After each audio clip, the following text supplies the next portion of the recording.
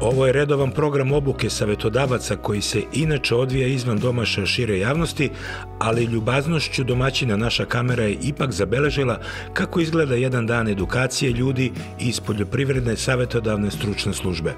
Svake godine na osnovu procene potreba e, poljoprivrednih proizvođača i poljoprivrednih e, savjetodavaca koje inače radi Institut za primjenu nauke u poljoprivredi, mi predlažemo Ministarstvu poljoprivrede preko 20 modula za obuke i edukacije poljoprivrednih savjetodavaca kako bi znanja koje su neophodna našim poljoprivrednim proizvođačima stigla do što većeg broja poljoprivrednih proizvođača. I to je osnovna uloga Instituta za primjenu nauke u poljoprivredi i zato smo danas i ovde da pogledamo jedan savremeni pristup i savremene tehnologije kad je u pitanju proizvodnja e, povrća i e, takođe e, stvaranje jednog privatno-javnog partnerstva koje institut u poslednjim godinama protežira. Danas su ovde predstavnici, odnosno stručnjaci iz 22 poljoprivredne savjetne stručne službe iz Srbije koji će na ovom ovaj, poligonu eh, imati prilike da vide najnovije dostignuća iz oblasti povrtarstva i eh, na neki način dobiti nova znanja kako bi to što nauče ovde preneli do krajnjih korisnika poljoprivrednih proizvođača. Cilj nam je da poljoprivredu Srbije podinemo na što viši nivo. Zeleni hit je pravi primer primjene najsrpnijih naučnih dostignuća. Ovaj, rekli smo da i holandjani imaju što da nauče ovde i ovo što, što je uradio Zeleni hit je oprilike e, pravi primer kojim putem treba da ide povrtarstvo Srbije. Imamo dovoljno resurse, godimo imali dovoljno i pamete, nam se da hoćemo da možemo da prenesemo na što većem broju porodičnih gazdinstva u Srbiji kako bi e, ovaj pelcer preneli kod drugih i imali E, prehrambenu stabilnost, što se i pokazalo kao osnovna snaga naše poljoprivrede. Posredstvom najsavremenije tehnologije i opreme koje je ovde deo svakodnevice, savetodavci su na prvoj radnoj tački mogli da se upoznaju sa svim aktuelnim načinima navodnjavanja, zatim upotrebe i doziranja mineralnih đubriva i zaštitnih sredstava, kako kod proizvodnje na zemljištu, tako i kod proizvodnje u substratima. Na radnoj tački 2 ja ću upravo prikazati ove rezultate jednog e, e, fundamentalnog naučnog ispitivanja gde osam hibrida u četiri različite tipa ispitujemo i integralnom i organskom načinu gajanja,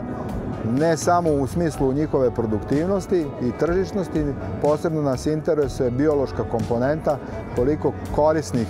polifenole i uopšte antioksidanasa možemo određenim načinom gajanja i određenom genetikom da ostvarimo. I treća tačka je vezana za uh,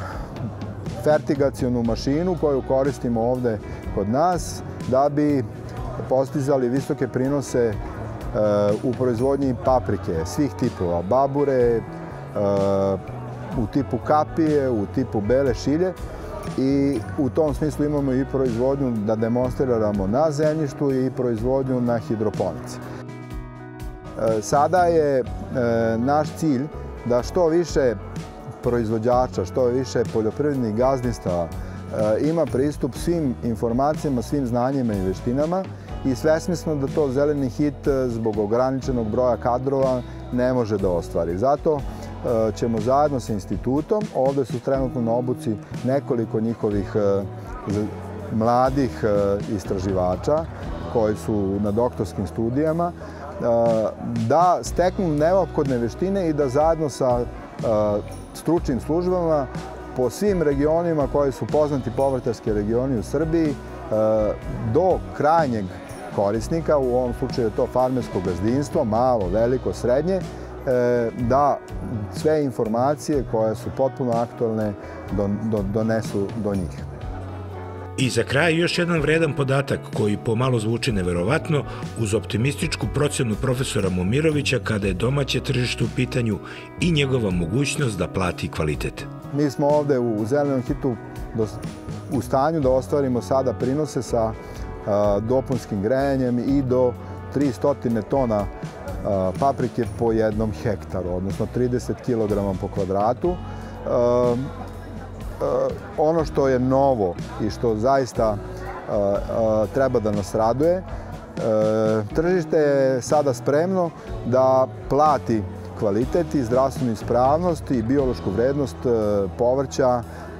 visokom cenom, što onda opravdava ulaganja i u modernu tehnologiju, i u znanje, i veštinje, i u obuku i zapravo je to današnji naš cilj zajedno sa Institutom za primjenu nauke u poljoprivredi.